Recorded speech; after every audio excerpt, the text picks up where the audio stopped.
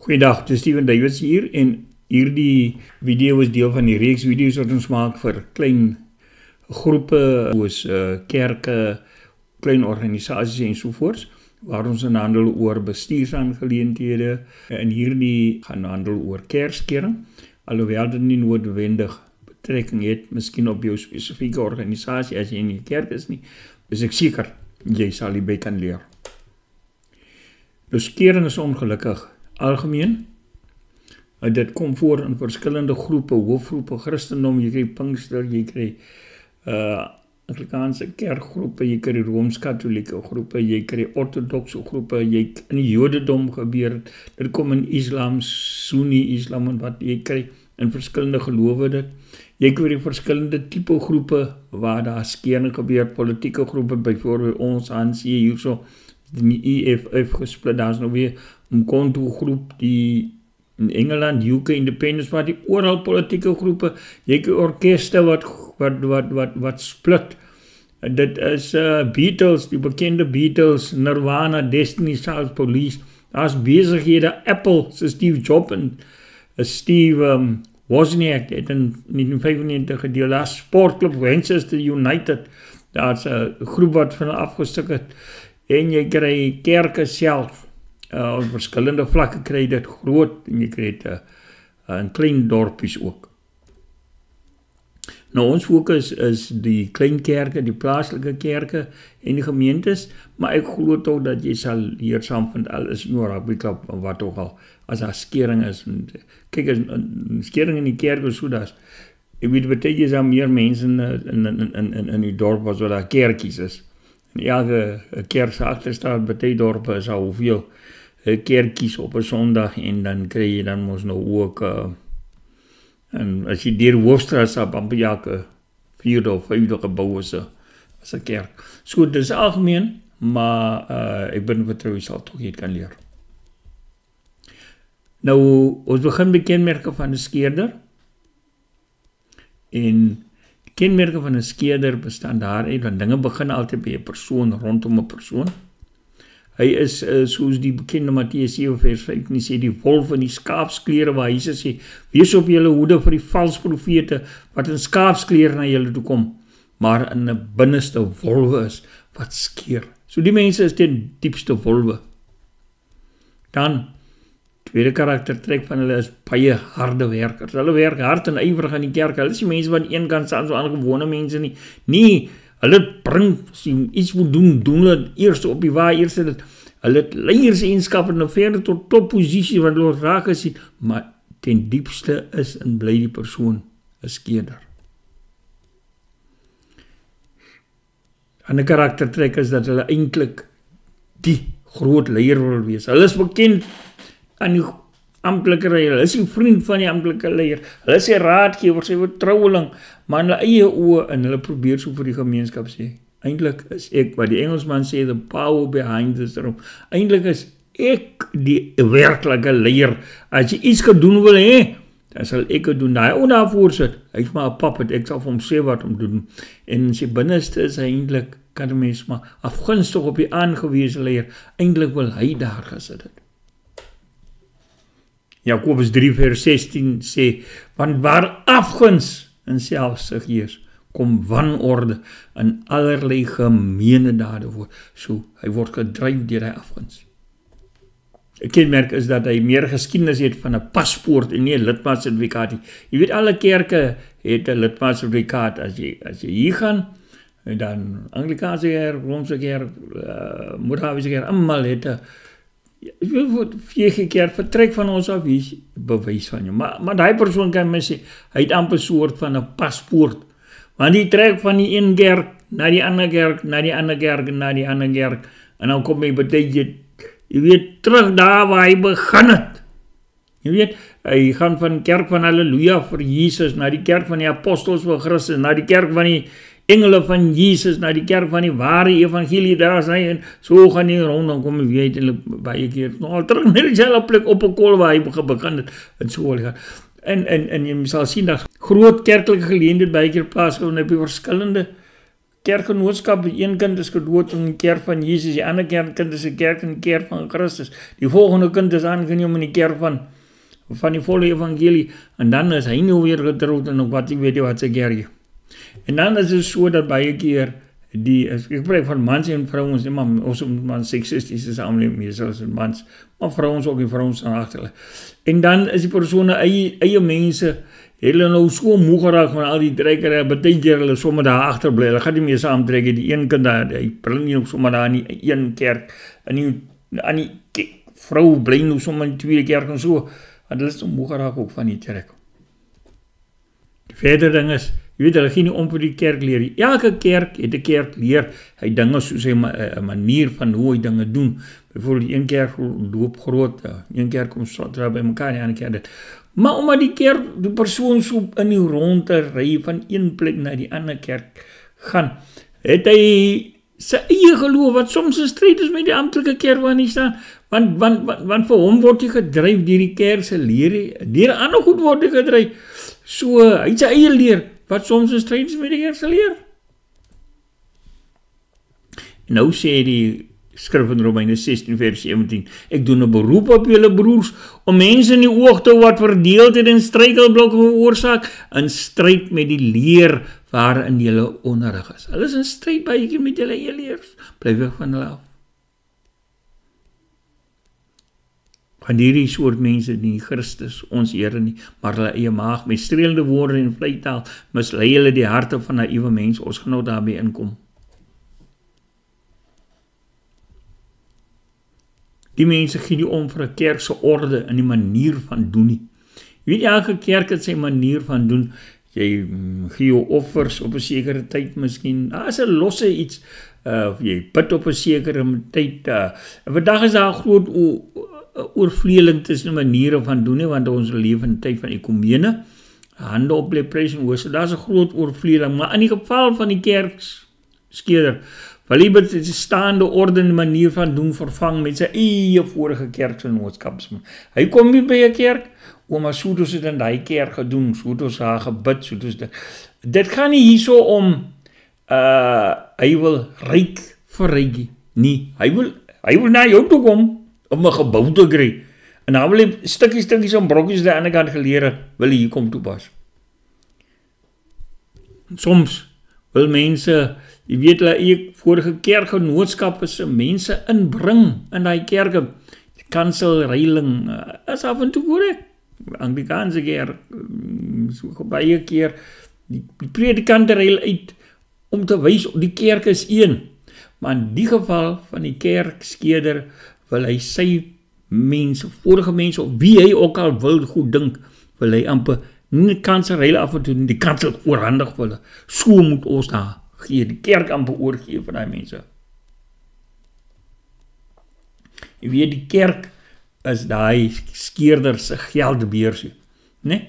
Hulle probeer wins en geld maak uit die kerk. Hulle probeer beheer kry oor die eiendom en die finansies van die kerk. En die kerk is vir hulle spaar varkie, geld varkie wat hulle kan verryk en waar hulle kan geld kry. En as hulle nie genoeg geld kry of as dit gebeur dat hulle bedreig word, iemand kom inkom en sê maar, "Hey, julle kan nie hierso die kerk so melk vir julle eie gewin nie." Dan skeer hulle. As hulle genoeg mense kan kry om saam te gaan, dan gaan hulle met 'n klomp mense en hulle begin 'n eie kerk daar begin hulle inkomste te genereer en hulle gaan sukkel eie kerk. Aanse verlaat hulle die kerk en gaan sluit aan by ander genootskap. Dus maar die kerk is wesentlik vir hulle geld varkie en spaarvarkie, 'n beurs. Hoe sê Romeine 16 vers 17 en 18. Ek doen 'n beroep op julle broers om mense in die oog te hou wat verdeeldheid en struikelblomme veroorsaak in stryd met die leer waarin julle onderrig is bly weg vanaf want hierdie soort mense dien nie Christus nie maar hulle eie maag, hulle eie belange. Hulle wil eet die kerk eet eet. Dis baie lieflike teks wat ons baie keer aankom. Dan sê ehm um, 2 Korintiërs 2:7 want ons is nie soos baie ander mense wat die boodskap van God bring. Hoekom bring hulle dit? Om God wil nie. Hulle bring dit om geld te kry nie net geld nie, maar wat geld kan koop, die mag, die dinge, die geboue, en staan nog hulle, hulle dis wat hulle doen. Hulle wil baas wees van goed. Hulle wil voordeel trek uit goed. En dan het die mense 'n gladde tong in vleitaal is hulle wapens. Die skrif sê met streelende woorde en vleitaal mislei hulle die harte van naïewe mense. Mense glo hulle later, hulle wil later die waarheid hoor. Mense hang aan want dis wat die persoon gesê het op een of ander manier amper met 'n bose gees kry die persoon mag oor mense.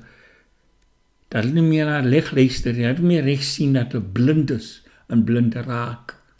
En so kry die mens hulle in sy mag. O leens en skinder as die keerder se tweeling. Jy kan swak lieg as jy sê man so, die die die die wit kar is swart. Dit moet nou ons elkeen kan sien. Die beste lieg is om te begin by die waarheid en dan sit jou eie onwaar stories aan. Heeltemal las jou klomp lassies aan. Steertjies wat glad nie meer die waarheid is nie. En dan fabriseer jy soms heeltemal iets uit die lug uit wat waar kom die mense aan die goed. Maar so stadig aan, net met die oorvloed van leuns en die herhaling van die leuns word mense so ingesluk, so beïnvloed deur die leuns en dan hoor hulle nie meer die waarheid nie. Hulle wil nie meer die waarheid glo nie. Hulle wil dom vir die waarheid. Hulle stap weg as hulle die waarheid hoor. Hoe die skeerder Hy betrokke, hy skakel wonderlik in, maar hy's 'n tydbom wat enige tyd wag om te ontplof. Hy wag net vir die geskikte geleentheid, né? Nee? Mense verskil, nie 'n keer verskil mense. OK? As idees en so aan, miskien oor 'n manier van doen uh wat ingesinde uitgepraat kan word, maar nou kom die skeerder en hy verhef wat verhoog het tot 'n rede van verdeeldheid in skering. Byvoorbeeld, oh, predikant het geld gesteel. Kom ons praat dit uit, kom ons praat uit met die predikant. Kom ons gaan verder met die predikant. Nee. Oh, ons moet nou skeer. Ons moet nou skeer. Dis 'n rede om te skeer mense by mekaar te kry. Die pastoor het gepie in die pad. Sulke nonsens. Ek maak 'n voorbeeld, né? Nee, ons kan praat, ek gaan pastoor en pastoor ons aan meer, ek pastoor. Pastoor maar agter 'n bosie gaan. Ons sou is 'n pastoor nou reg gaan nie. Nee, Ons moet skeer, ons moet skeer, dit veroorsaak skeer. Die vader het sy vrou gevloek. Ag man, ons so 'n vrou gevra, die hy nie vrou vry al lankal weer terug en hulle so ry by mekaar. Maar ons moet nou skeer. Dis genoeg vir ons om te skeer. Die dominee was dronk. Nou, weet jy so wat die dominee se pils wat hom dronk gemaak het, hulle sê net die dominee was dronk. Wat hier is, ondersoek jy se praat dis nee, ons moet skeer. Enige ding raak 'n rede vir skeer. 1 Korintiërs 1 vers 10 sê ek pleit by julle broers in die naam van ons Here Jesus Christus dat julle almal eensstemmig sal wees. Dat daar nie verdeeldheid onder sal wees nie, maar dat julle volkome eensgesind mag wees met dieselfde denkwyse. Ons praat die dinge uit. Ons verskil, ons wat gaan die aan? Hoe nodig om te skeer hê? Moet dig. Dit die skeerder. Hy besluit self wat reg is en hulle besluite moet gehoorsaam word.